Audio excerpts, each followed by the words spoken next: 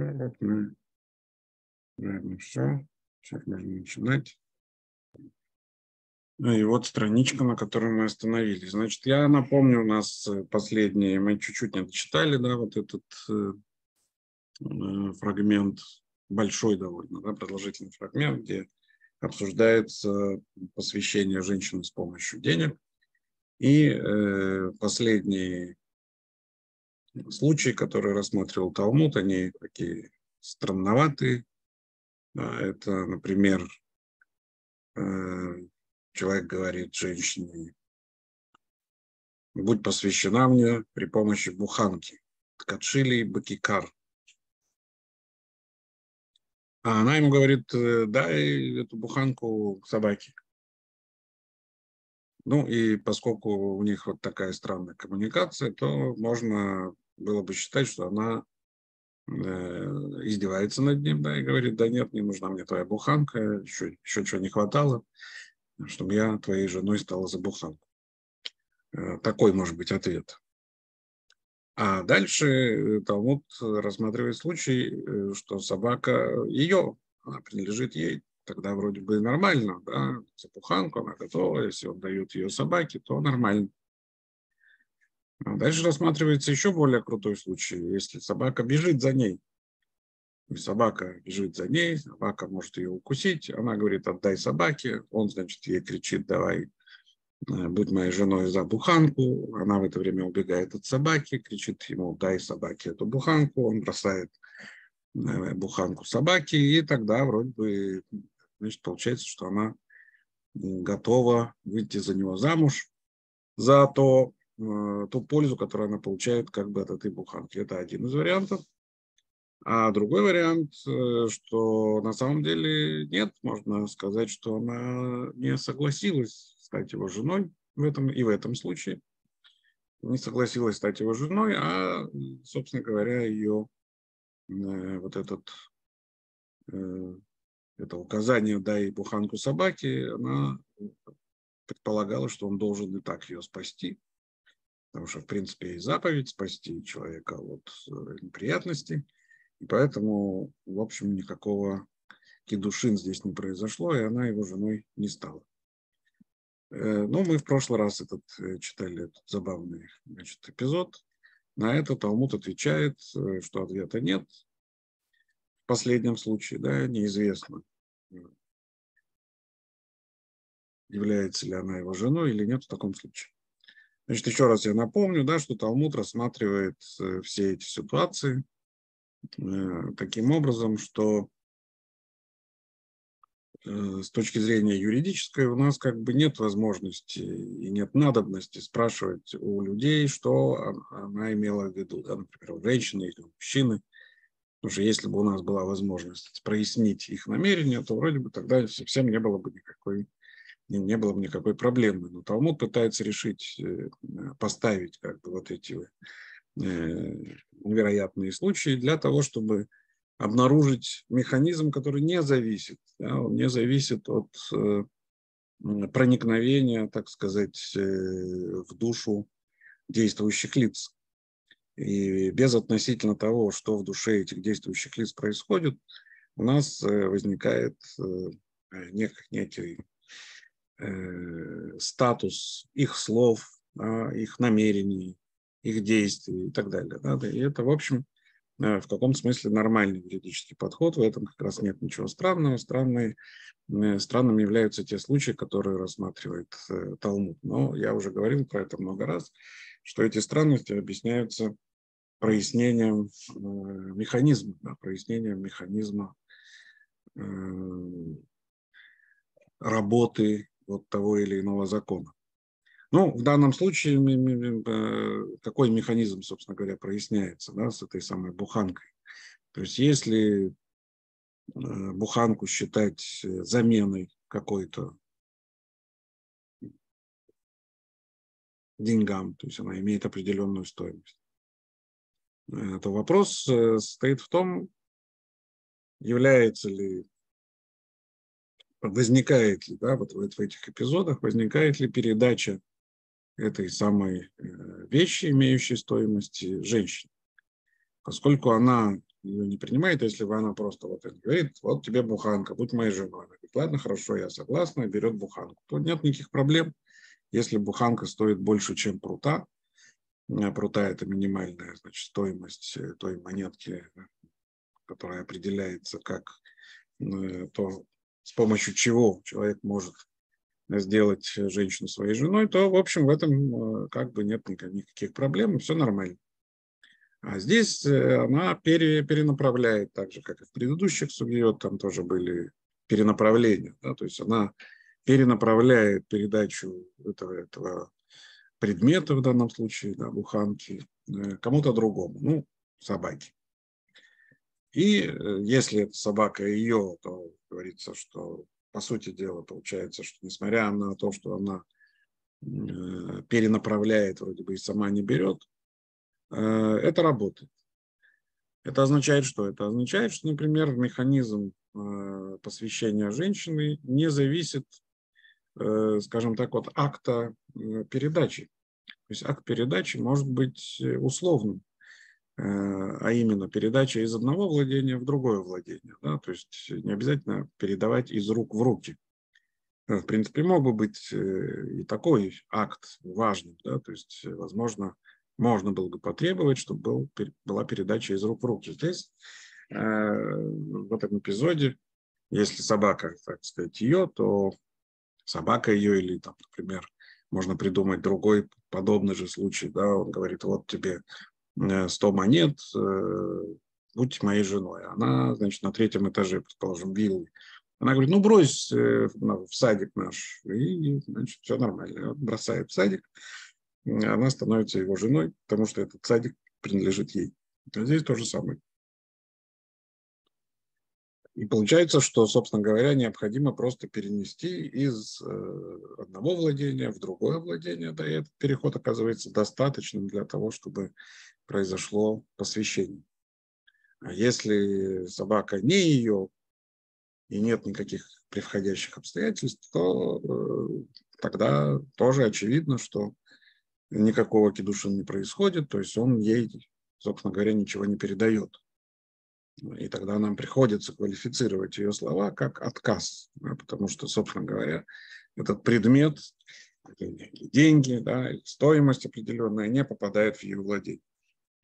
А вот э, последний вопрос, э, вопрос со спасением, он переносит нас, э, собственно говоря, к одному из, к одной из проблем, которая изучалась у нас и до этого – что важно, да, что важно вот в этом самом акте посвящения. Важно, важен сам предмет, важна стоимость, да, то есть этого предмета. Важно, что здесь есть э, какое-то приобретение женщины чего-то, или э, важно лишь некая польза, которую она от этого может поиметь. Польза или удовольствие, да, если вы помните, был случай, да, там, когда, наоборот, женщина говорит мужчине, «Э, давай будь моим мужем, и он соглашается. И там э, был ответ такой, что если этот мужчина очень знатный и знаменитый, э, то посвящение происходит, хотя вроде бы мужчина должен посвятить женщину себе, а не женщина мужчине. Но там его согласие является на самом деле настолько большим удовольствием для женщины, что это, собственно говоря, получается, что он ей что-то дал. Ну, э, и вот этот вопрос, он остается неразрешенным да, у нас. То есть мне действительно нужно что-то дать или достаточно того, чтобы этот дар был в каком смысле субъективным, абстрактным, э, когда женщина просто получает э, некое удовольствие или пользу. Ну и вот этот случай с буханкой, которую бросают преследующие собаки, он, собственно говоря, про это, да, то есть он про то, что если он ее спасает тем самым от преследования, то все нормально, тогда действительно она становится его женой за то удовольствие, которое, за ту пользу, которую он ей принес. Но э, сам этот случай, он э, сложный. Почему? Потому что на самом деле он в каком-то смысле был обязан это сделать, даже если бы э, он не посвящал ее в жены, он все равно обязан был это сделать. И поэтому здесь остается вопрос, и ответа на него Талмуд нам не дает. Э, то есть получается так, что если э, та польза, которую женщина получает от некого действия мужчины, оказывается той пользой, которая в каком-то смысле ему предписана, то тогда э, он как бы ей ничего и не передает. А если та польза, которую он ей приносит, не является предписанной, и является в каком смысле неожиданной, да, и, и пользой, которую он совершает именно для нее, тогда все нормально. Вот в случае с собакой он не такой, он оказывается амбивалентным таким и не очень ясным. Ну, дальше еще один случай, который мы тоже читали, я просто о них вспоминаю, потому что сейчас те случаи, которые мне прочитали, они определенным образом связаны с этим. Э, дальше говорится, что путь посвящена мне прямо вообще буханке, еще один такой же случай. Она ему на сей раз говорит, «Э, дай не собаке, а дай нищему, дай бедняку. И снова мы можем понять это как отрицание. Она говорит, я не хочу буханку, лучше дай бедняку буханку, что ты с помощью буханки там пытаешься меня заманить в жены. Дай э, бедняку. Но, э, может быть, этот бедняк является бедняком, которого она все время дает ему вот, сдаку, например. Да? То есть она регулярно подкармливает, предположим, этого бедняка. Если она регулярно подкармливает этого бедняка, а он на сей раз заменяет ее в этом действии, то можно было бы предположить, что, может быть, она все-таки что-то получает. Да? То есть та буханка, которую он дает, экономит ей ту буханку, которую она хотела бы или, или должна была э, с, по своим каким-то принципам дать этому бедняку. Но э, Талмуд говорит, нет, она не посвящена даже Афилу Ани Гасамухала. Даже если речь идет про бедняка, который к ней близок, или тот бедняк, которого она э, содержит. Э, и ответ почему? Майтама, Амрали кигейхи де Михаевна бы Гахи Михаев Ана. То есть так же, как я обязана кормить его, так же и ты обязана его кормить. Да? То есть это то же самое аналогичный случай с собакой в каком-то смысле. Да? То есть его действие является действием предписанным а не действием, которое предназначено специально для нее. Да? То есть это действие может быть расценено как действие, которое он осуществляет в силу того, что есть такая заповедь. Ну и так же, как и спасение от собаки, здесь э, э, может возникнуть э, вопрос. Да? Но в отличие от случая с собакой, где ответа нет, да, и там этот ответ, ответ подвисает. Почему он подвисает? Потому что там у нее есть какая-то угроза, да, и он ее спасает от некой угрозы. А здесь э, он просто в каком-то смысле заменяет ее дар своим даром нищему. Э, и получается, что этот случай как раз однозначен и расценивается как отсутствие, собственно говоря, того дара, который он должен ей принести, для того, чтобы посвятить ее в жертву. Ну хорошо, это те два э, эпизода, которые мы прочитали в прошлый раз, да, и после этого у нас э, следует еще несколько удивительных э, историй.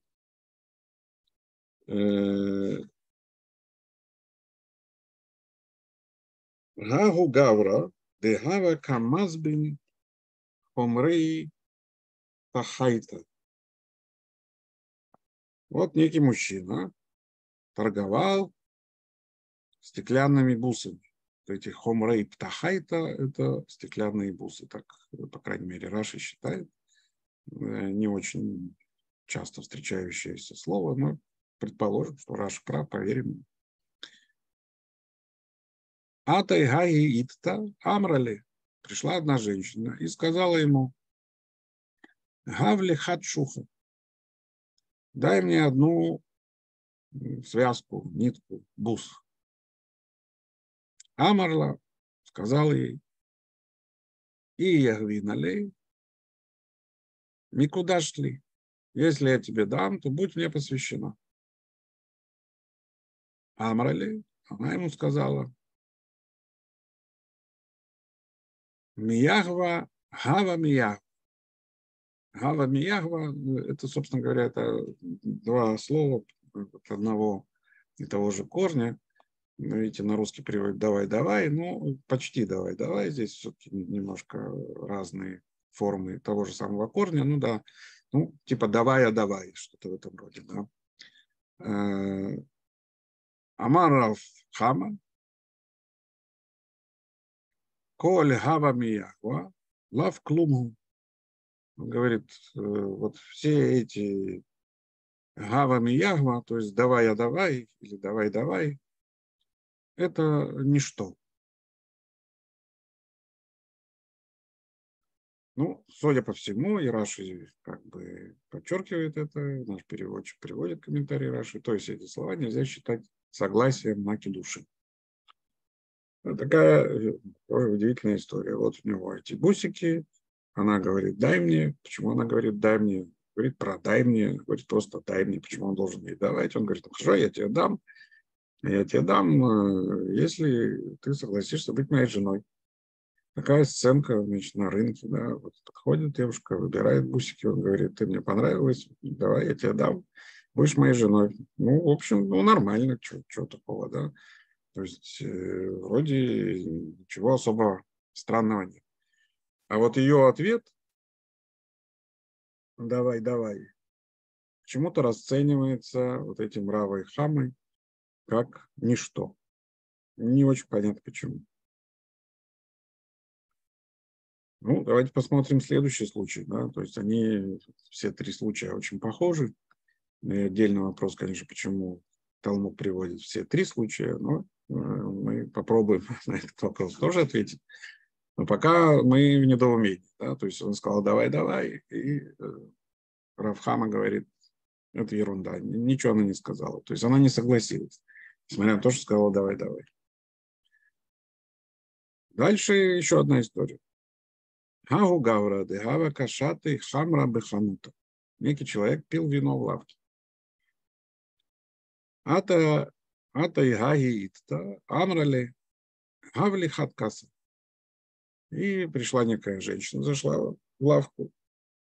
Тоже довольно странный, да, для патриархального мира эпизод. Он сидит в лавке, пьет вино, то есть это в баре он сидит, да. И приходит женщина, тоже заходит в бар, такая современная довольно ситуация. И говорит, дай мне дай один этот самый стакан. Амарла. И я гивналах. Он ей говорит, если я тебе дам, то будь мне посвящена, то есть Макодешит. Амрали Ашкуи Ашкиен. Она ему говорит, ну, напоя, напои. И здесь тоже перевод как бы одним словом, напои, напои, но они немножко разные формы. Ашкуи и Ашкинан. Ну, давайте по напоя, напои. Амаров Хама, снова тот же самый Равхама, он говорит, он говорит так. Коль ашку и ашкина лав клумгу. То есть всякий вот этот вот напоя, напои, это ничего. Э, обратите внимание, что он на самом деле довольно странно формулируется, да, то есть он говорит всякий, что значит всякий. То есть получается всякий раз, когда говорят давай, а давай или напоя, напои, это ничего. То есть Равхама, он что, он цепляется к э, определенной форме выражения, а он, он цепляется к словам каким-то, да, то есть вот когда человек говорит таким вот э, двойным, что ли, глаголом, э, человек, в данном случае женщина, но он говорит всякий, да, всякий, кто так говорит. То есть можно себе представить другую ситуацию, да, где тоже происходит какая-то сделка, где один из субъектов этой сделки употребляет вот такое э, словосочетание, словосочетание, которое состоит из двух глагольных форм. И Равхана говорит, что ничего не сказал. То есть не произошло никакого кедушин, именно потому что она ему так ответила. Так, в принципе, за стакан вина, но если вино дорогое, больше пруты, то почему бы и нет. Ну и еще одна история. Гагу Гавра, де Гавака Шады и Тамры Медикла. Вот некий человек, он сбрасывал финики с пальмы. Что значит сбрасывал? Ну, видимо, он собирал, да, это, видимо, пальма его, и он занимается сбором фиников, так надо полагать. А ты Гагиита Амрали. Пришла одна женщина и сказала ему, шада или тарты? Она говорит, брось мне два финика. Амарла. И шадина лав микадышли. Если я тебя брошу, то будь мне посвящена. Амрали шады мижда. Опять двойной глагол, шады мижда, он не одинаковый, да, но она ему сказала, бросай, бросай, или что-то в этом роде. И Амар Равзавит, теперь уже Равзавит, там был Равхама оба раза, да, теперь другой Рав Равзавит. Коль шада и мижда лав клумом. То есть э, любое произнесение вот такого двойного глагола, в данном случае шада и мижда, э, ничего не значит. И, значит, никакого кедушина, э, никакого кедушина нет. Удивительные, да, удивительные три истории. Почему они удивительные? Ну, во-первых, они удивительны тем, что здесь э, почему-то двойное произнесение, да, двойное произнесение глагольной формы оказывается ничем. Это первая странность. Вторая странность в том, что зачем нам приводить три, три таких примера. Есть, ну, судя по всему, да, то есть, э, в общем, э, есть мнение среди мудрецов, что вот такие вот да, двойная форма употребления глагола, она не годится в сделках. Так, так судя по всему, нужно, нужно понимать. Почему приведено именно три случая, два случая или один случай, которого, в общем, э, каждого из них было бы достаточно. Э, э, странно, да, то есть очень странно. Значит, в попытке, в попытке ответить на или каким-то образом смягчить, скажем так, эту странность, я могу предположить следующее. Дело в том, что у нас э, есть э, в Торе, в Писании, у нас есть целый ряд случаев, когда действительно употребляется вот такой вот форма двойного глагола. Например, гикарет, тикарет. Ну, то есть, когда говорится о том, что человек, который нарушит заповедь, говорится о том, что гикарет, тикарет, его душа. То есть, уничтожаясь, уничтожится.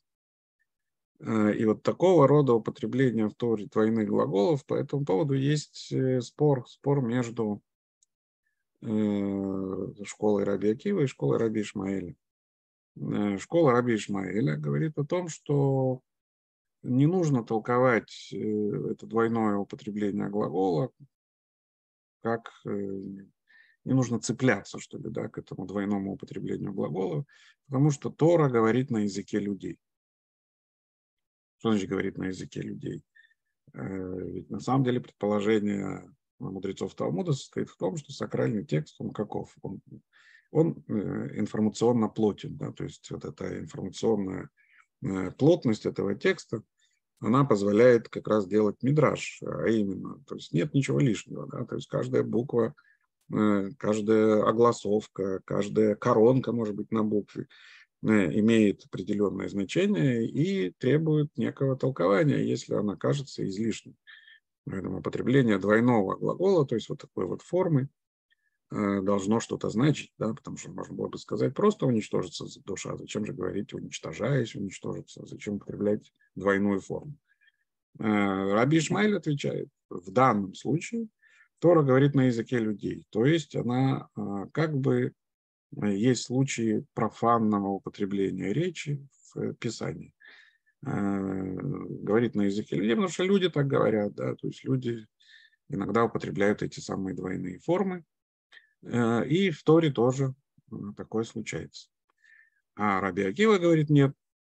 Раби Акива говорит, что Тора говорит не на языке людей, получается, да, он отрицает это. Э, Тора никогда не говорит, скажем так, более четко, да, никогда не говорит на языке людей, и всегда э, лишние слова и лишние какие-то моменты да, этого текста, элементы этого текста, они вызывают э, к толкованию. Это фон, да, то есть это фон, который на, на определенным образом является фоном вот этих вот трех историй, где женщина употребляет вот этот самый двойной глагол. Ну хорошо, как это сказывается, да, то есть если, например, Раби Ишмаэль говорит, что Тора говорит на языке людей, вот, пожалуйста, люди так говорят. Но когда люди так говорят, получается, да, с точки зрения Равахамы или э, Завида, э, на самом деле, говоря таким образом, э, люди хотят сказать нечто другое. То есть она не говорит «давай», она не говорит «напои», она не говорит там «бросай», а она говорит э, иронично. Да, то есть, по сути дела, э, в этих трех эпизодах нам э, говорится о том, что такое употребление, двойное, двойное употребление глагола является на языке людей, да, на языке людей неким ироническим э, выражением, которое в каком смысле отменяет значение самого глагола. То есть глагол-то давай, но на самом деле, когда я говорю да, ну да, да, давай, давай, или там, ну, напои, напои, да, то есть, или, ну, бросай, бросай, да, то есть здесь э, на русском надо было бы вот это еще, ну, приставить, э, и тогда получается, что она, э, ну, как говорят Равхама и Равзавит, любой человек, да, то есть любой человек, употребляющий эту двойную форму, на самом деле э, меняет значение этого глагола в каком смысле на противоположный, потому что здесь скрывается ирония. Мы снова могли бы сказать, как и в остальных случаях, давайте спросим у женщины, она имела в виду иронично или, или нет. Но нет, такого вопроса Талмуд не задает. Талмуд э, э, считает, что э, необходимо решить этот вопрос независимо от того, что думает конкретная женщина. И, по сути дела, получается, что нам говорят, что такое словоупотребление является отказом, а не согласием. Значит, с этим мы э, более-менее разобрались, да, и есть вот этот самый фон, э, который, э, по сути дела, говорит о чем? Он как бы в споре между Раби Ишмаилем и Раби Акивой проводит какую-то дополнительную черту, да, потому что с точки зрения Раби Ишмаиля, Тора говорит на языке людей, и например, двойной глагол и карет. Нужно понимать так, что душа уничтожится. Он не говорит, что нужно понимать как противоположный смысл. А Раби Акива говорит, например, и в, в этом мире, тикарет в будущем мире. То есть он говорит, что поскольку два глагола, то значит есть два уничтожения. Душа уничтожится и в этом мире, и в будущем мире. То есть каждый из них воспринимает э, эту фразу. Да, один считает, что это язык людей, и тогда просто удвоение вообще ничего не значит, а другой говорит, что это сакральный текст, удвоение значит, но э, это значение необходимо прояснить. А в наших эпизодах неожиданно оказывается, что да, люди так говорят, но когда люди так говорят, они имеют в виду нечто противоположное. И это само по себе как бы Э, ну, есть такая, такая перекличка, да, то есть э, что же такое язык людей? И язык людей оказывается чем-то, что не совсем совпадает с тем языком людей, о котором, о котором думает э, Раби Ишмаил, например. Теперь по поводу того, почему, собственно говоря, у нас три эпизода, почему недостаточно привести один. Ну, первый ответ такой, что Вообще говоря, э, Талмуд очень любит э, троицу, как это парадоксально звучит. Э, часто очень в Талмуде, это своеобразное клише, приводится по тому или иному поводу три рассказа. И, естественно, те, те, кто читал с нами трактат Брахот, например, или трактат Таанит, когда-то мы читали, да, или какие-то эпизоды, которые мы разбирали э, в вводной части этого курса, мы уже с этим сталкивались, да, то есть приводится три, э, три истории для э, в каком смысле полноты картины, да, то есть, хотя вроде бы они очень похожи друг на друга, и вот эти мелкие различия, казалось бы, ими можно и пренебречь, а с другой стороны, возможно, что один эпизод э, был бы недостаточен. Почему? Потому что я мог бы сказать, ну, когда речь идет про бусы, то это так. А когда речь идет про нечто иное, да, то есть э, у нас ведь э, что есть? У нас есть бусы и вино и финики. Вино и финики – это ну, такие выделенные продукты. Да? То есть вино – это вино и хлеб у нас выделенные продукты. Хлеб у нас фигурировал, кстати, да, до этого как раз буханка хлеба. Здесь у нас фигурирует вино. Вино и хлеб – это два выделенных продукта, которые являются, ну, опять же, в дружественной конфессии, как вы знаете, да, это плоть и кровь. Э, в каком смысле в еврейской традиции это тоже э, плоть и кровь, только не Иисуса, не Спасителя, а в каком смысле универсума. Да? То есть это те продукты, э, которые получаются после довольно серьезной обработки да, того, что, что дано в этом мире. Поэтому они являются такими выделенными. Да? То есть Э, и можно было бы считать, что если речь заходит вот о таком выделенном э, продукте, то тут уже не до шуток, да, и поэтому напои, напои, может быть, не, не должно звучать иронически. А третий эпизод – это эпизод с, э, с этими самыми финиками. Финики у нас тоже немножко выделенный продукт, да, то есть это один из семи видов э, растений, которыми славится земля Израиля. Но здесь, э, на самом деле, в этом эпизоде есть и еще одна подоплека. Дело в том, что э, пальма, она и в Писании, и в талмудической литературе, она очень часто выступает как эротический символ. Э, то есть э, залезть на пальму – это эвфемизм в каком смысле, да, то есть э, Саития, этом Тамар, да, это имя, которое связывается с библейской Тамар, носит некий эротический, ну, эротическую коннотацию. И поэтому сам этот эпизод, который происходит с пальмой, можно было бы рассматривать как скажем так, более игривый, да, чем, предыдущие. То есть одно дело она просит бусы, другое дело она просит вино, а э, здесь есть, возможно, некий подтекст, да, то есть брось мне финик, здесь есть некая эротическая коннотация, и возможно, что если такого рода искра, скажем так, проскочила, то тогда, опять же, дело не до шуток, и, э, может быть, э, вот это двойное употребление глагола не является отрицанием, а является согласием.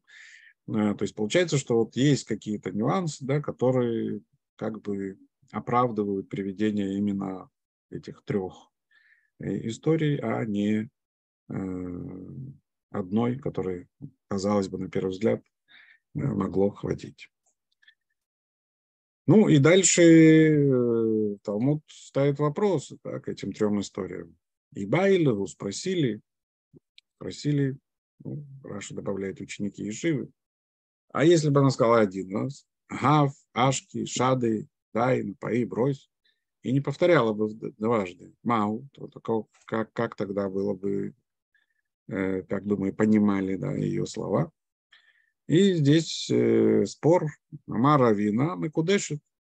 Равина говорит, да, тогда нормально, тогда, значит, она серьезно, значит, она получает эту ниточку бус, или бокал вина, или два финика, и э, становится его женой. А, Равсама Баракта сказал, Тана де Малка и нами кудышит. Он даже как бы поклялся, он говорит, царская корона. Видите, есть форма клятвы в скобках наш э, переводчик поясняет. Э, не посвящена. В Гилхата, это редкий случай, да, когда ну, относительно редкий, когда в Талмуде приводится и не только спор, но и решение этого спора. Э, в Гилхата и нами кудешит и Аллаха такова, что она не посвящена. То есть, несмотря на то, что Равина говорит, что если она сказала один раз, то нормально, то тогда мы снимаем иронию, как бы, да, и она соглашается реально. А э, сама Баракта клянется царской короной, что нет, и вроде бы такой как раз э, закон с точки зрения Талмуда. Талмуд сам подчеркивает этот закон, э, что она не мекудешит. Э, естественно, возникает вопрос, почему? То есть, если, в принципе, да, все дело было в том, что она иронически ему ответила, и эту иронию мы считываем из двойного употребления да, глагольной формы, то почему же она не макудешит тогда, когда употребляется нормальный глагол? Э, по-видимому, сами ситуации да, рассматриваются этим самым, э, самой баррактой э, как ситуации несерьезные. Да, то есть сама ситуация несерьезная. И вот в этой несерьезной ситуации мы не можем квалифицировать этот разговор как серьезное посвящение. Э, то ли потому, что они только, только вот что, что зашла женщина, он ее увидел, давай, э, может быть, он не серьезен с точки зрения э, сам баракты, да, то есть почему не происходит здесь посвящение, остается неясным. Единственное, что мы можем сказать, что да, вот такую общую характеристику дать этим трем эпизодам, как Э, что-то несерьезное. И поскольку это несерьезно, то и э, никакого посвящения не произошло.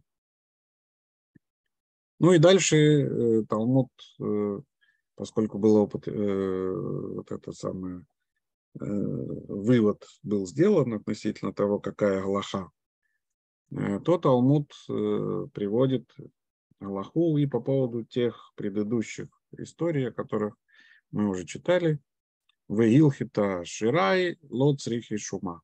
Помните, да? То есть, если человек дает э, отрез шелка или шелковую одежду, э, там был спор, нужно оценивать или не нужно оценивать э, эту одежду. И теперь э, Талмуд говорит, что по тому спору, который был там, Галаха такая, что не нужно оценивать.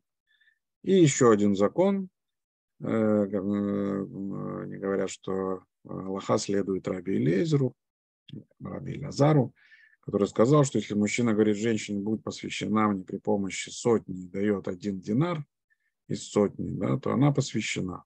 Но, естественно, что он обязан эту сотню восполнить, но, э, тем не менее, там был спор, да, одни говорили, что это, она не посвящена, когда он ей дает один динар, он должен так сказать, отсчитать всю сотню, а другие говорили, что уже в тот момент, когда он дает один динар, вот как раз Раби Лязар, то она ему э, посвящена.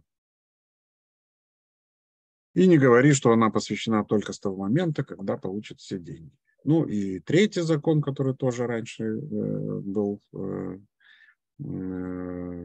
предметом спора, это то, что по мнению Равы, со слов Раби Нахмана, Аллаха следует как раз вот этому мнению. Если он сказал, и будь посвящена мне при помощи сотни и дает ей залог, как гарантию тоже заплатит, то она не посвящена. Был спор и об этом. Потому что там нет э, никакой передачи. Мы тоже об этом уже говорили. Э, получается, что в конце вот этого обсуждения, обсуждения э, разного рода эпизодов, связанных с передачей денег и попыткой так сказать, произвести этот акт кедушин, посвящения женщины с помощью денег, заканчивается некими выводами, да, которые Талмуд делает относительно тех споров, которые, о которых мы читали до этого. И на этом, собственно говоря, заканчивается вот это довольно длинное, да, пространное обсуждение э, самого закона о посвящении женщины с помощью денег.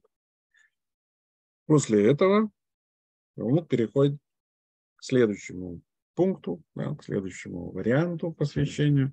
Это посвящение э, с помощью документа, э, который является как бы в каком смысле более понятным, чем посвящение с помощью денег.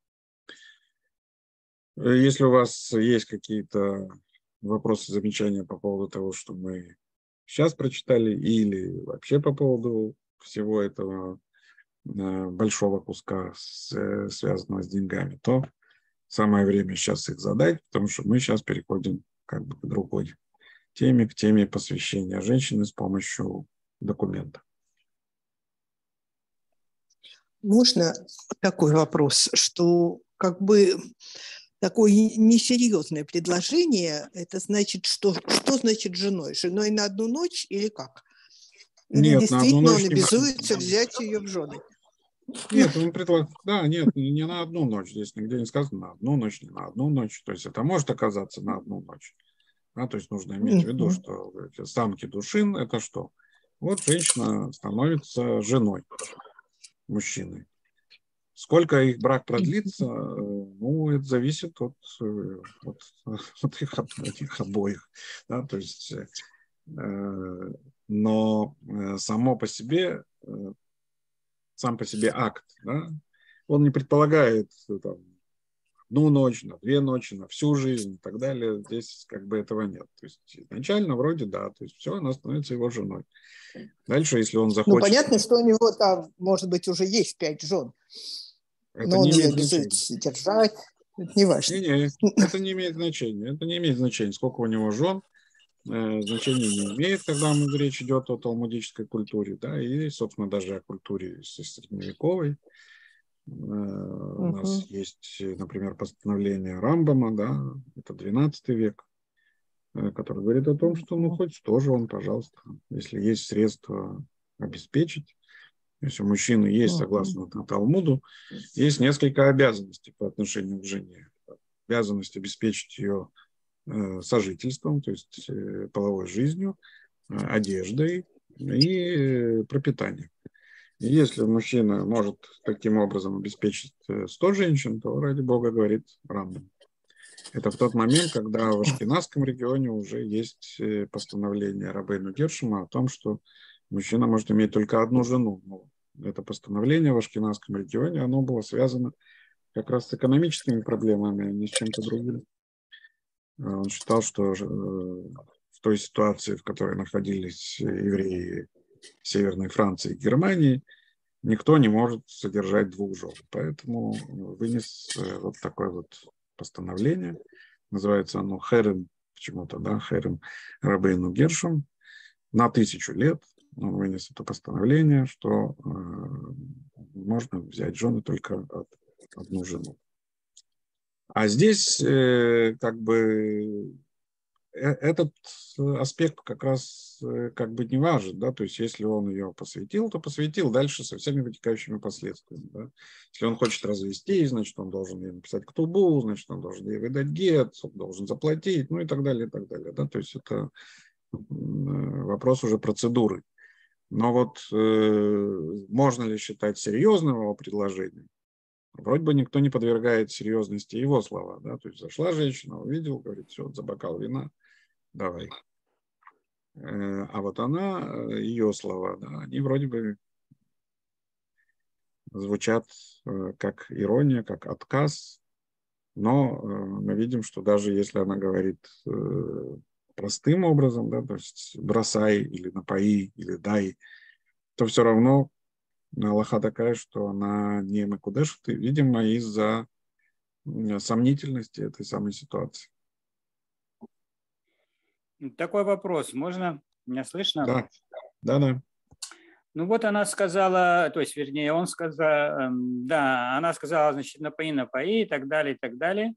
Она, допустим, была в каком-то сомнении. Это я так, дополнительное объяснение. Вот. Он, и он ее, да, значит, поставил ей выпивку, все такое, они стали говорить, все такое. Вот. Э, и он говорит, ну что, теперь мы муж и жена, или мы там поженимся. Она говорит, знаешь, что я, я должна подумать. Допустим, они знают этот закон, и она знает этот закон, что это еще ничего не значит, если она так ответила. А потом она решила, хорошо, значит, ну, в общем, допустим, у нее нет там других женихов. Она говорит, я согласна быть твоей женой.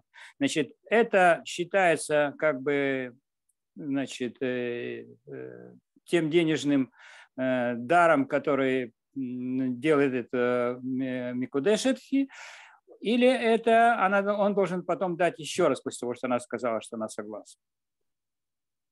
Э, не знаю, нет, нет у меня однозначного ответа на этот вопрос, да, то есть вопрос хороший, я же говорю, что э, такого рода вопросы, собственно говоря, они постоянно и возникают, да, они возникают, если не в талмудической литературе, то в более поздней, в литературе гаонов, а если вот так, а если вот так, а если мы прибавляем что-то, понятно, что это просто другой э, казус, да, то есть, Эмиль, то, что вы сформулировали, это другой казус.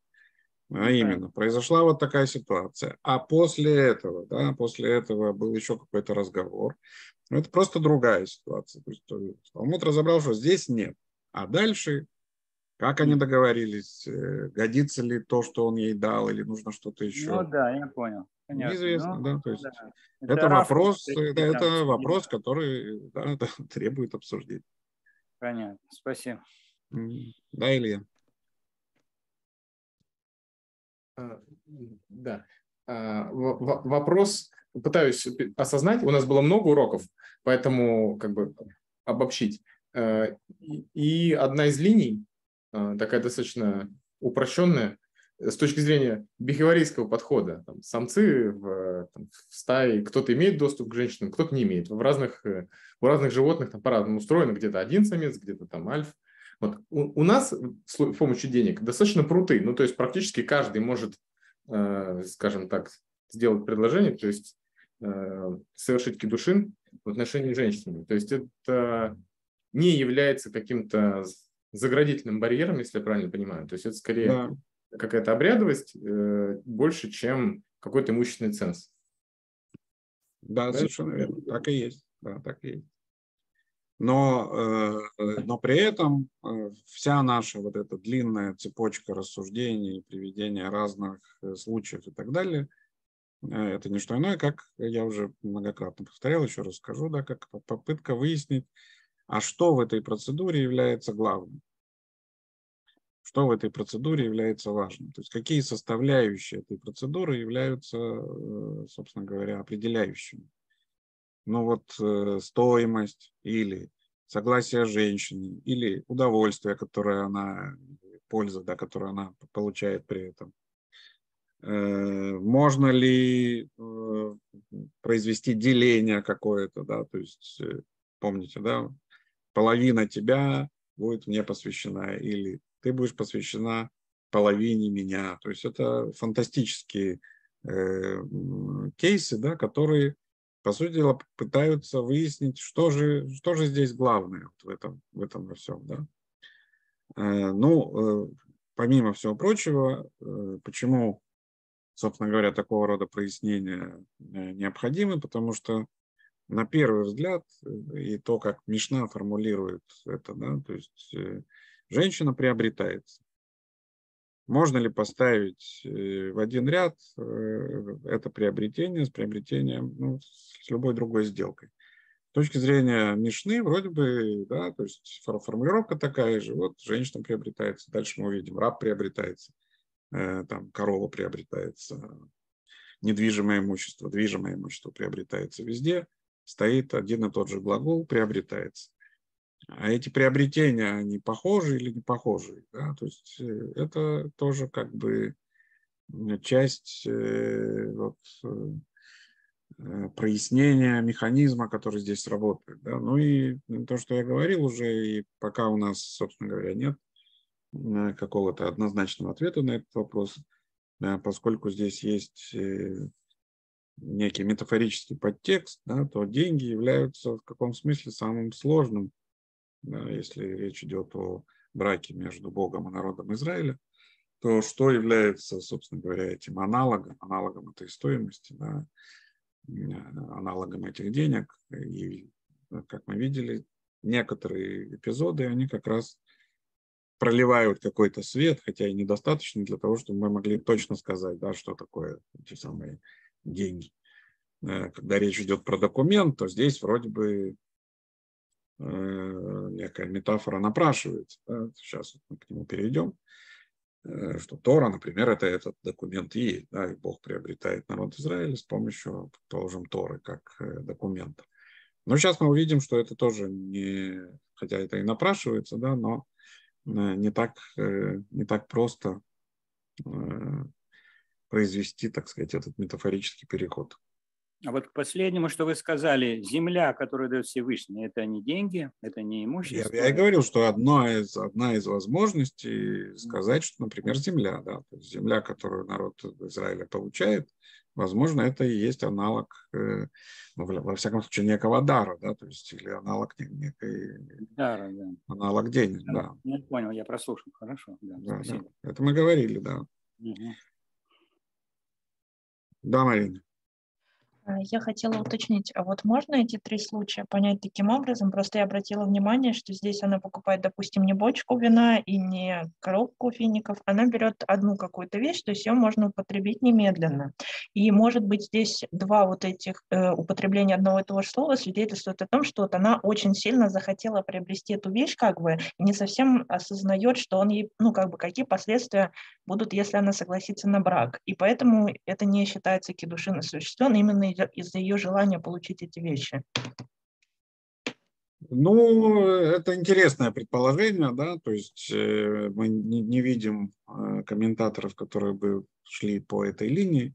Кроме всего прочего, у нас есть бусы, но и про бусы можно сказать, что она до такой степени захотела эти бусы, что как бы э, потеряла, так сказать, контроль над собой, да, то есть это идея того, что Женщина должна, э, и это мы увидим сейчас буквально вот через несколько строк, ну и видели до этого, да, то есть э, при заключении вот этого э, акта, да, то есть контракта условно в кавычках, да, между мужчиной и женщиной, то, что необходимо, необходимо ее дат, да, дат это ее, ну, можно сказать, мнение, знание, согласие, то есть слово «да» трудно перевести в данном случае. Мы переводим как бы как согласие, ну, ну, осознанность, так можно сказать, да. И вот это «да» – это очень важная составляющая, про которую мы тоже читали уже несколько раз, сейчас она снова всплывет. Э, и э, можно, конечно, пойти таким путем, да, что здесь в этих ситуациях э, дело даже не в том, что это одноразовые, да, потому что бусы, например, можно носить достаточно долго, а финик не один, а два. Вот почему просят два финика, а не один. То есть, э, э, но можно пойти было бы таким путем, да, сказать, что эти ситуации, если она как бы в каком смысле сошла с ума, немножко очень захотев вина или два финика или бусы, э, не могут рассматриваться как э, полное согласие. Тут очень просто решается, она просто возвращает, э, если она не согласна, и все, то, что она получила. Значит, бусы возвращает. Нет, нет, то, что Марина предложила, это не это, это то, что она соглашается, но, но ну, на да. самом деле это, это согласие нельзя считать согласием. Ну да, Потому но что она как бы, она находит, она не в себе, как бы в состоянии аффекта. Ну да, так я говорю, что она, то есть она не серьезно, то есть она поддалась этому порыву, но Решается это очень просто, то есть эти кидуши не состоятся, она просто возвращает это и все тогда, да, то есть... Нет, нет, нет, это нет, это если, если бы мы считали, что все нормально, то, то, то просто нет, тогда развод, э, там, детей, а, ну, да, да. Тогда. Конечно, тогда целая история, она не может сказать, извини, я была в состоянии аффекта. А, вот она. Конечно. Ясно, да. Ну, да, то есть это, если бы это считалось, и если действительно идти вот по этой линии, и мы бы не считали это состоянием эффекта, то тогда, сколько бы она потом ни говорила, ну, э, да, что, слово извините, слово. уже все, нет, назад, ну, в, ком, в каком смысле? Конечно, есть путь назад, но путь назад – это другая процедура, это развод и так далее. Вот она там, понятно. Да. Серьезное дело. Ну, хорошо, перейдем к э, документу. Да? То есть вот Гемара нам пишут, Гемара переходит к обсуждению темы кедушин при помощи документа. Тану Рабанан. Биштар, кейцат. То есть каким образом с помощью документа? То есть этот вопрос был у нас бекесив, кейцат, как с помощью денег. И вот э, сколько у нас было страниц? Э, пять. Пять или шесть страниц собственно, было рассуждение про то, как с помощью денег. А теперь, как с помощью документов. Катафла аля наяр, о аля херес, афаль пише эн бошаве прута, битха мекудешет ли, битха меуресет ли, битха ли инту, Арей зонный кудеши. Вот нам объясняют, как это с помощью документа. С помощью документа это так, что если он написал на бумаге, ну, что такое бумага в ту, в ту пору, это отдельный вопрос, да, что называлось ныяр, э, видимо, какой-то свиток чего-то, да, или что такое, или на глиняном, на глиняной дощечке. Несмотря на то, что ни глиняная дощечка, ни этот кусочек не стоит тут, и это очень важно, да, потому что можно было бы считать, что этот самый документ, он сам что-то стоит. Нет, нам специально подчеркивается, что он ничего не стоит. Здесь э, другая история. Да? Когда я передаю нечто ценное, это было про деньги. А теперь я ничего ценного я вообще не передаю. То есть э, я как бы ничего не даю, а просто пишу на бумажке или на глиняной дощечке. Да? Я пишу. Твоя дочь посвящена мне, твоя дочь помолвлена со мной, твоя дочь будет мне женой. И дает этот документ она считается Макудешит. Все, женщина считается Макудешит. Какая женщина? Вот почему-то начинает с, э, со случая, впрочем, он и раньше мы видели, да, что он начинал с этого случая, со случая, когда речь идет про несовершеннолетнюю девушку. И тогда, собственно говоря, вот этот кедушин, он производится, собственно говоря, э, своеобразная сделка или передача, да, то есть или сам акт кедушин, он производится с отцом этой девушки, а не с самой девушкой. Э, и э, Талмуд рассматривает вначале именно этот случай. Да? Он дает, э, мужчина дает отцу, говорит, вот твоя дочь будет не Кудешет. Он пишет это просто на бумаге или на глиняной дощечке. Матки фла раби зейра бармамель. Га ло дамы. Га иштара лиштар звины. Га там мохер кутевло. Сади мехуралеха. Аха Бааль Кутев Битхами Кудешики. И э, сразу же у нас э, возникает вопрос, да, это трудность, которую ставит Равзера. Вот это конец этой странички, да, мы переходим на следующую. Э, бар Мамали или Бар Мемель по-разному огласовывается. Но тогда такой документ не похож на документ купли-продажи. Потому что если у нас э, само, само это Мишне, да, сам, сама процедура названа приобретение, и кедушин это приобретение, и тогда законы кедушин связаны, наверное, каким-то образом с законами купли-продажи. Это то, что нам здесь в скобках написал переводчик, да, э, используя комментарий Раши. Э, так вот, этот э, самый Рабизера Баровна Немель говорит, что что-то не то, что-то не то, что-то не похоже. Потому что в обычном случае, когда речь идет о купле-продаже, то продавец пишет покупателю документ. Какой? Например, вот это моя поле, тебе продано. И поле считается проданным в тот момент, когда он передает документ э, покупателю. А здесь Балькутев, а здесь наоборот мужчина пишет. А мужчина он кто? Мужчина же он не продающий, а в каком смысле покупающий, в кавычках, да?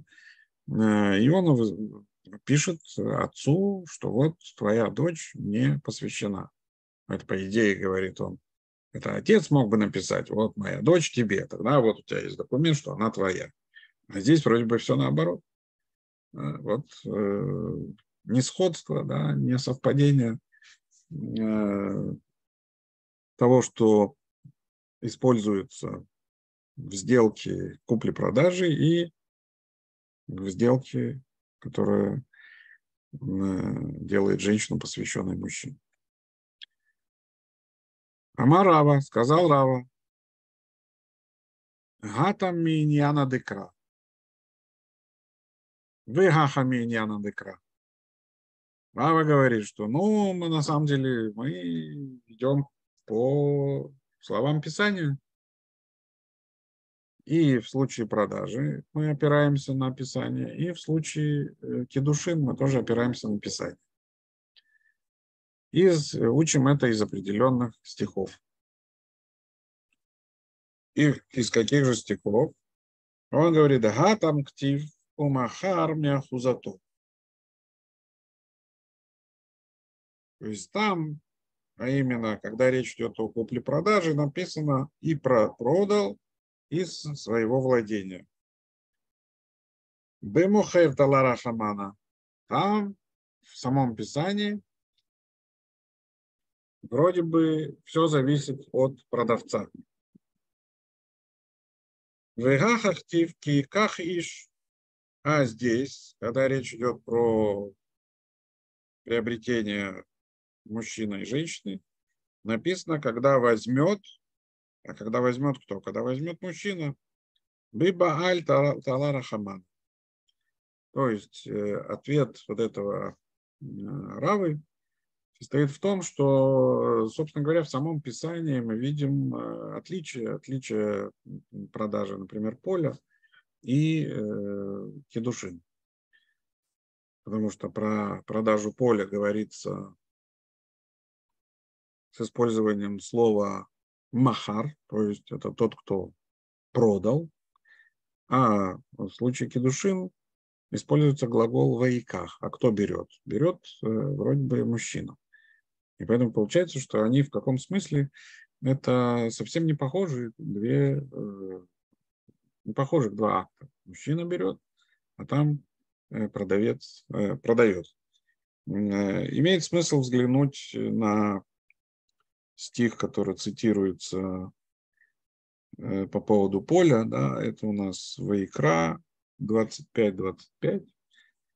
Я надеюсь, что у вас под рукой той или иной форме Тора или Танах. Да? Сейчас мы посмотрим, э, имеет ли здесь значение какой-то контекст или нет.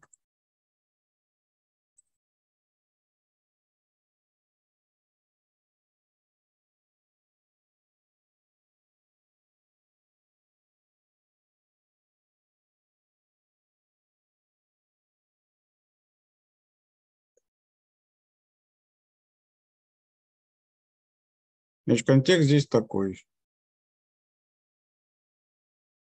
Ну, я чуть раньше начну, да, у нас 25 стих, я начну с 14. И если будете продавать что-то ближнему своему или покупать что-то у ближнего своего, не обманывайте друг друга. И дальше говорится о том, что, значит, э, если человек покупает что-то, то речь идет о определенном количестве времени, да, потому что на самом деле у каждого Речь идет о э, таком вот коммерческом взаимодействии между евреями в данном контексте, да, и у каждого есть свой надел, да, и поэтому если я покупаю что-то из земли э, другого, то я покупаю как бы его надел, он не может быть моим навечно, да, он моим становится на какую-то на какое-то время, то есть, э, например, в юбилейный год он отходит обратно к э, тому, кто является его владельцем. И дальше речь идет как раз про заповеди вот седьмого года и так далее. Э, ну, я даже, наверное, прочитаю. Да. «И будет земля давать свой плод, и будет есть досыта, и будете жить спокойно на ней». Но если все будете соблюдать, да, эти законы, законы в том числе э, адекватные купли-продажи. А если скажете, что же будем есть в седьмой год, вот седьмой год, когда не нужно обрабатывать землю, когда мы не будем ни сеять, ни собирать урожая. А, и Бог говорит, я пошлю вам благословение мое в шестой год. И он доставит урожай на три года. И будете сеять восьмой год, но у вас будет э, урожай из старых до девятого года. И земля не будет э, продаваема навеки, ибо моя земля. Вы же пришельцы и поселенцы у меня. И во всей земле владения нашего дозволяйте выкуп земли. То есть э, земля должна быть выкупаема. То есть когда кто-то продает землю, берет землю э, у другого, да, то он должен ему вернуть. И как раз сейчас да, следующий стих, 25 наш, э, который цитируется, «Если обеднеет брат твой и продаст часть владения своего, это как раз мяху за то, то пусть придет близкий его родственник и выкупит проданное братом его. А если некому за него выкупить, он сам будет иметь достаток и найдет, сколько нужно на выкуп. И пусть он расчислит годы продажи своей и возвратит излишнее тому, кому он продал, и вступит опять во владение свое. То есть он, по идее, должен вернуть это свое владение. Если уже не найдет рука его, сколько нужно возвратить ему, то проданное им остается в руке купившего до юбилейного года. А в юбилейный год все-таки оно отойдет, и опять вступит он во владение свое. Э, другими словами, да, вот этот э, фрагмент, то есть контекст, контекст оказывается важным, да, то есть э, эта продажа, она является продажей временной. И, речь идет о земле. Да? Мы только что говорили, что, возможно, земля – это и есть метафора, там, предположим, того, той, того дара, да, который дает Бог народу Израиля, благодаря чему народ Израиля становится его супругой, женой. И здесь как раз речь идет про, э, именно про землю. И вот землю один человек другому может продать только на время. В каком смысле можем сказать, что, собственно говоря, и жену он тоже приобретает на время. Да, но, тем не менее, это другого рода, да, другого рода э, приобретение в каком смысле. Да? То есть разница еще и в том, что э, приобретение земли оно является э, условным очень. В то время как э, приобретение э, жены, оно не является условным. Да? И э, вот то, что нам говорит в данном случае Талмуд, э, что документ, который оформляется при продаже земли, этот документ, он выписывается тем, кто эту землю отдает, да, то есть он отдает э, нечто свое, что должно, вообще-то говоря, к нему вернуться, да, и он в каком смысле отписывает покупателю на определенное время, ну, максимум, да, на 50 лет, он ему отписывает, если, предположим, да, это происходит э, в первый год, и до юбилейного еще далеко, и он никак не сможет выкупить ее, хотя, как мы видим, да, ему должны помочь его родственники и так далее, и так далее, что земля должна к нему вернуться но э, она вернется в любом случае, она вернется в юбилейный год. И вот этот э, продавец, он выписывает документ, который свидетельствует о том, что покупатель временно пользуется этой самой его землей. Он в каком-то смысле не обладатель этой земли. А в случае э, женщины, ках, иш, иша, да, то есть когда возьмет мужчина женщину, это стих, который у нас уже цитировался, здесь имеется в виду э, да, вот это взятие, э, ну, в каком смысле навеки, да, то есть навеки имеется в виду на, на всю жизнь.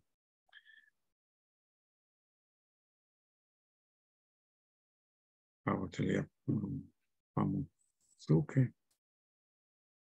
Ну хорошо, значит, это мы поняли, да, то есть мы недаром посмотрели контекст, это было важно.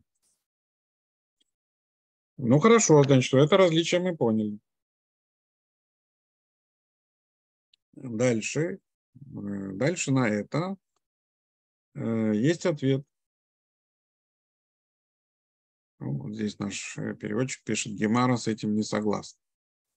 Видите, да, то есть это он заранее нам, нам сообщает, что сейчас пойдет оспаривание вот этой точки зрения, да, то есть оспаривание Э, казалось бы, действительно очень логичного такого распределения. Да? Одно дело женщина, другое дело земля. Э, и это различие вот Илья спрашивает, почему глупый вопрос, почему надо продать землю, чтобы далее выкупил брат, а не попросить брата помочь. Это не, ну, нормальный вопрос, да, то есть, наверное, брат не может в данный момент помочь, он должен помочь потом. Если есть э, возможность не продавать землю, то, конечно, нужно ее избегать. По-видимому, речь идет о ситуации, когда избежать этого нельзя, он продает, а дальше уже родственники, и он сам всячески стараются ее вернуть и выкупить. Но теперь э, Талмуд отвергает, да, сам отвергает вот ту э, вроде бы вполне да, логичную и интересную интересное объяснение того, почему, собственно говоря, это разные вещи. Да? То есть там пишут этот, а здесь пишут э, другой, то есть пишет тот, кто приобретает, потому что он приобретает навеки, а там пишет тот, кто продает, потому что он является вечным, в каком смысле, владельцем этого надела. То есть пишет как бы тот, кто, собственно говоря, э, является э, таким объективным, возьмем в кавычках, обладателем. Да? Тогда как бы все нормально. Но на это нам Талмуд говорит –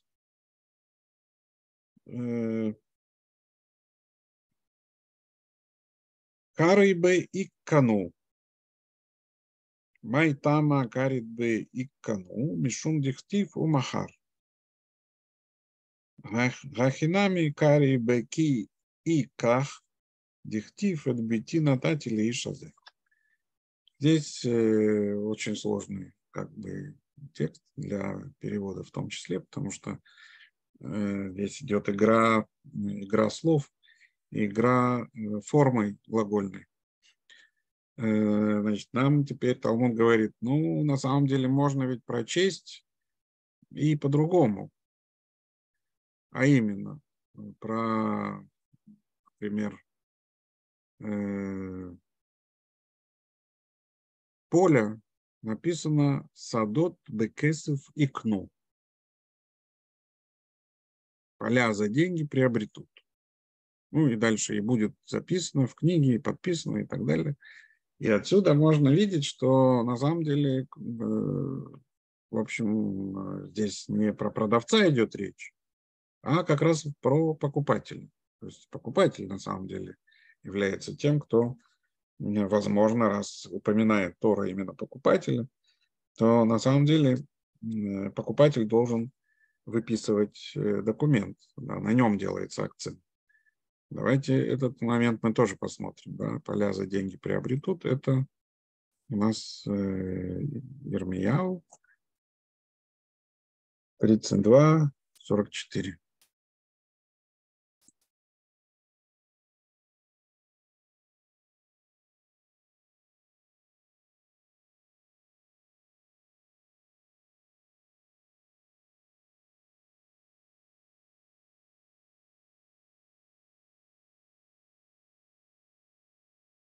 Миал 3244 это у нас э,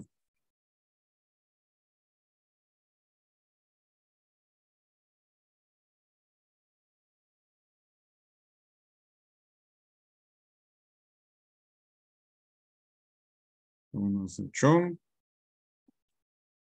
Э, ну, я начну немножко сначала, да начала главы, чтобы мы поняли контекст слова, которое было Ирмияу от Господа в десятый год царствования Циткияу, царя иудейского. Ну и дальше это было вот в такой и так далее. И сказал Ирмияу, сказано не было слово Господа, и вот Ханамель, сын Шалума, дяди твоего, идет сказать тебе, купи себе поле мое, что в Анатоте, ибо по праву родства купить тебе его. По праву родства, то есть имеется в виду, что это как раз родственник, который должен купить, э, выкупить поле. И пришел ко мне Ханамель, сын дяди моего во двор стражи, и сказал мне, купи, прошу поле моего на тоте, что в земле Бениаминовой, ибо у тебя право наследования, у тебя право выкупа этой земли. Да? То есть мы видим, что э, контекст здесь, э, в общем, связан с тем, э, что мы читали сейчас в книге Вайкра. И здесь даже про купчую, и написал я купчую, и запечатал, и поставил свидетелей, и взвесил серебро.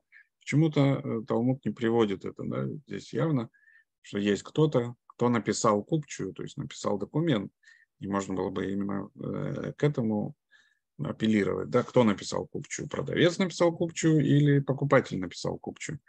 Э, можно было бы разобраться, но Талмуд это почему-то пропускает. Да? И э, в конце э, говорится следующее –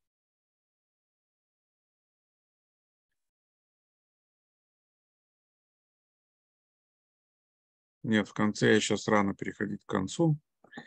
Ибо так сказал Господь, Бог Израилев, еще будут покупать дома и поля и виноградники в стране этой. И дальше, значит, он передает купчу, да, и говорит, о Господи Боже, вот сотворил ты небо и землю великой силы твоей, мышцы твоей простертую, ничто не сокрыто пред тобой. Ты творящий милость тысячи поколений, воздающий за вину и так далее, и так далее, и так далее. И э, ты вывел народ свой из Египта, и ты дал им землю эту, и ты клялся отцам их дать им землю, текущую молоком и медом. Опять вы видите, да, вот это дарование земли, оно снова всплывает из контекста.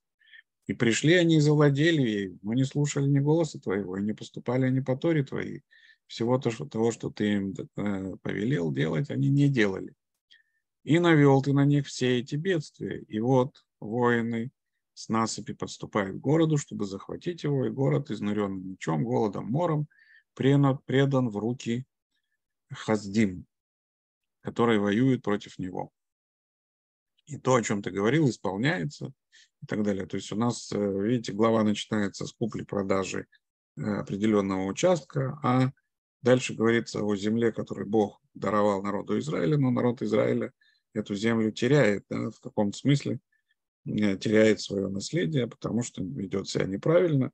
Но земля это принадлежит народу Израиля в каком смысле по праву, эта земля должна э, народу Израиля вернуться. Э, и, ну и дальше говорится о том, что о грехах народа Израиля, почему все это дело таким образом произошло. Э, а потому ныне, как сказал Господь, об этом городе, о котором вы говорите, предается он в руки царя Вавилонского мечом, голодом и мором, вот я соберу изо всех стран, куда я забросил их в гневе моем, имеется в виду народ Израиля в ярости моей и в великом негодовании, и возвращу я их на то место и дам им жить в безопасности. И будут они мне народом, а я буду им Богом.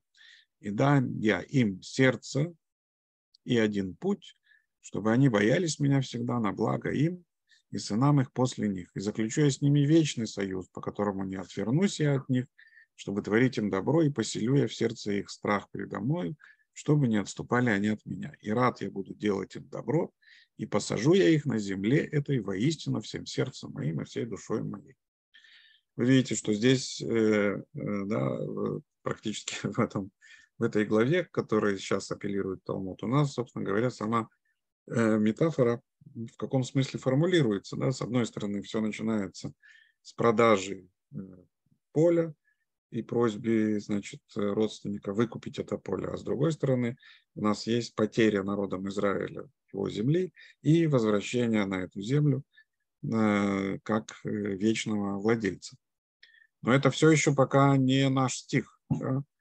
Потому что дальше говорится так. «Ибо так сказал Господь, как навел я все это великое бедствие на народ этот, так не спошлю я им все то благо, которое изрек они. И будут покупать они поля в стране этой, о которой вы говорите, это пустыня, где нет ни человека, ни скота, которая отдана в руки Каздим, Сидеев будут покупать поля за деньги и писать купчие, и запечатывать, и выставлять свидетелей в земле Бениаминовой и в окрестности Иерусалима, и в городах Иудеи и так далее. И вот э, этот э, стих, да, то есть стих 44, э, будут покупать поля за деньги. Здесь нам и приводится, и поскольку здесь говорится, что будут покупать поля за деньги и писать купчие, и запечатывают, то получается, что писать купчи и запечатывать их э, будут не продавцы земли, а те, кто будет их покупать. Но покупателем здесь является кто? Является народ Израиля, который является кем? Который является вечным владельцем этой земли.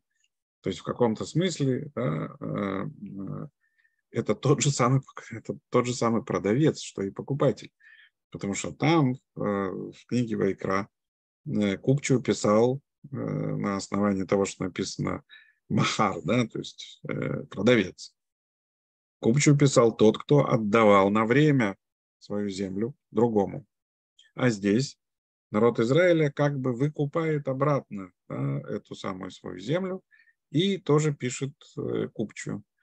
И в определенном смысле и первый, И второй, то есть народ Израиля в данном случае, является в каком смысле вечным, вечным владельцем. Да? Совершенно не случайно. Да? То есть это я в очередной раз подчеркиваю, особенно для тех, кто с нами недавно, что когда Талмуд э, нас отсылает к каким-то стихам и говорит, что на основании там той-то, той-то фразы выведено то-то и то-то, как правило, это не то чтобы совсем всегда, но чаще всего, э, Талмуд имеет в виду не само словосочетание или даже не тот стих, который он цитирует, а Талмуд э, апеллирует к контексту, да, то есть к контексту, который для них Э, в каком смысле на слуху, да, и достаточно указать один стих, и этот контекст всплывает. Нам для того, чтобы этот контекст всплыл, видите, надо открыть, почитать, там, вникнуть. Э, для них это не так, да, для этой культуры. Они знают э, этот текст более-менее наизусть, и поэтому, когда цитируется та или иная фраза, то этот контекст немедленно всплывает. И вот из этих контекстов мы видим мы видим, э, собственно говоря, вот эту самую метафорическую подоснову. Хотя у нас сейчас речь идет вроде бы э, как раз э, не о деньгах, а о э, документе. Но на самом деле ценностью, да, ценностью, которая продается и покупается, оказывается как раз земля. Например, когда мы говорили, что возможно деньги, да, ценность – это не что иное, как земля, мы в каком смысле, наверное, были близки к истине. Да? Сейчас мы э, видим подтверждение этому. Э, но э, документ является чем? Документ является возможностью передачи этой ценности. То есть я могу передать прямо деньги или я могу прямо передать некую ценность, некий дар, а могу оформить это, не передавая. Да? То есть не передавая, а просто записывая определенным образом. Э, и поэтому Талмуд, собственно говоря, подчеркнул, что э, сам э, документ, он ничего не стоит, да? то есть он меньше, чем прута, то есть меньше, чем какая бы то ни была значимая стоимость. Так вот, у нас здесь, вы видите, через довольно странные квази-экзогетические построения Э, Талмуд нас вводит э, вот в такую, э, вот в такую тематику. Да, то есть говорится о том, что, смотрите, мы могли бы найти противоречие уже тому, что решили. Да? С одной стороны, продавец пишет, с другой стороны, вроде бы мужчина, который берет женщину, и стало быть, он не продавец, а покупатель, он вроде бы пишет. И э, здесь э, э, довольно странная история. А это Талмуд там что говорит? Ну, это не, не совсем странная история. Почему? Потому что в самом Писании э, это определено. И, как мы поняли, само Писание что определяет? Само Писание определяет в каком-то смысле то, что тот, кто является вечным владельцем, он и вечным, условно, конечно, вечным владельцем, тот и пишет эту самую, этот самый документ, эту самую купчую. А теперь Гемара вроде бы противоречит самой себе. А она говорит, что за деньги приобретут. Кто приобретут? Вроде бы тогда получается, что тот, кто приобретает, он пишет. Но мы, правда, видим из контекста, что приобретает все равно этот самый вечный владелец. Э, посмотрим, что на это ответит Гемара. Гемара же не может так сказать вечный владелец. Да, это абстрактное понятие, которое я ввел. А в принципе э, Талмуд не оперирует этими абстрактными понятиями. Да?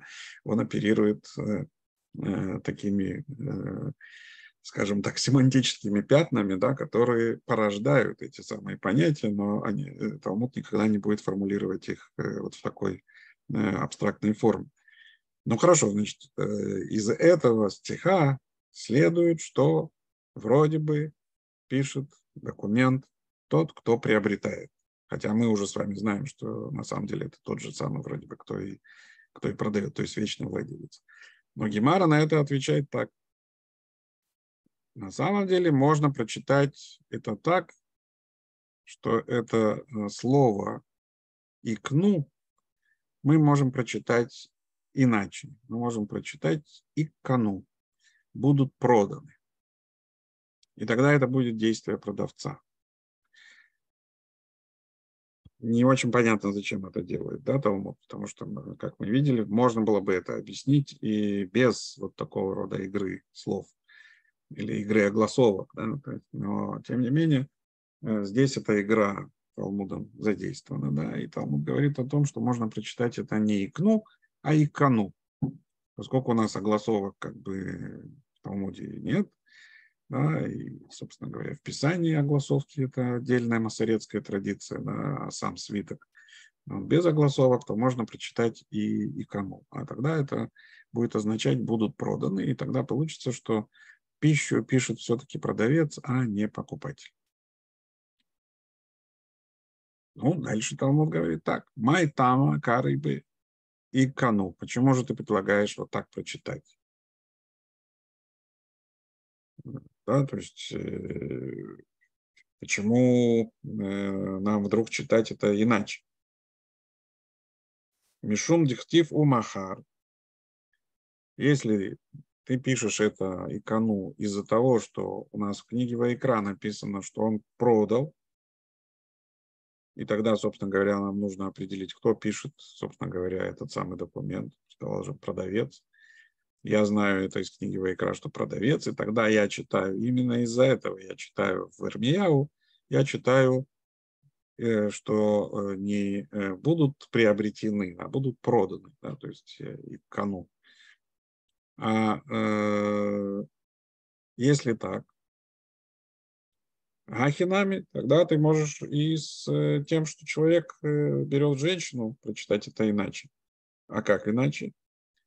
Карайбе и ках. Она будет взята, женщина. Читай. Это тоже как э, э, э, гефиль, да, то есть э, это каузативный глагол, да, то есть, например, у нас есть глагол катав, я могу из него сделать глагол лехахтив, с тем же самым корнем. Э, Ляхтив – это что? Ляхтив – это сделать так, чтобы кто-то писал. Можно писать, а можно сделать так, чтобы кто-то писал. Да, точно так же и с вот этим глаголом «иках». Я могу сказать, что я могу лакахат, а могу сказать, что я э, это такой глагол практически не используется в сегодняшнем иврите, но я могу сказать ляакиях, то есть да, дать кому-то приобрести. Э, и вот, собственно говоря, Э, таким образом Талмуд предлагает играть, да, то точно так же, как и с глаголом икну. Икну по-простому это приобрели, приобрели да, то есть те, кто приобретут, а можно э, поставить гифиль, и тогда будет те, кто даст возможность приобрести. Э, ну, как здесь переводится, те, кто будут проданы. Лучше было бы перевести, как даст, дадут возможность приобрести. И поскольку там Талмуд говорит, мы изменили Э, глагол э, его огласовки, да, превратили его из простой формы в каузатив, то давай и здесь превратим в каузатив. Да, то есть и про мужчину тоже можно также прочитать. А, то есть ты так как бы, если ты свободно обращаешься с согласовками, то пожалуйста. А, почему? Дихтив эд бити нататели и шазы. Потому что на самом деле у нас есть еще и стих, который говорит, вот я свою дочь дал этому человеку. Э, а если мы видим, что он, дочь дается этому человеку, то тогда получается, что отец, который выступает в роли дающего, вроде в роли как продавца, он является действующим лицом, а не покупателем. На этом, э, на этой интригующей ноте, а, а именно, кто же должен писать э, документ? Или в какой роли выступает тот, кто пишет документ? Он продавец или он покупатель в кавычках, да, а, или, как мы выяснили из контекста, и Талмуд этого не говорит, но, но мы это видим, или тот, кто является в каком-то смысле вечным э, владельцем, вечным тоже условно, но тем не менее. Э, это мы уже вы, извлекли этот вывод, да, Талмуд еще вроде бы к этому выводу не пришел, Талмуд пока играет тем, что на самом деле у нас есть, э, есть возможность, да, прочесть найти в Писании указания на противоположные противоположные позиции, противоположные позиции приобретателя и покупателя. Ну и э, в следующий раз мы, естественно, мы только начали да, эту сугию, то есть этот фрагментик. Э, дальше на это будет определенного рода ответ. Надеюсь, что это начало было более-менее понятно, но мы в любом случае в следующий раз еще раз э, к этому вернемся и более четко э, зафиксируем те, ту расстановку, да, которая, на которой мы сейчас остановились.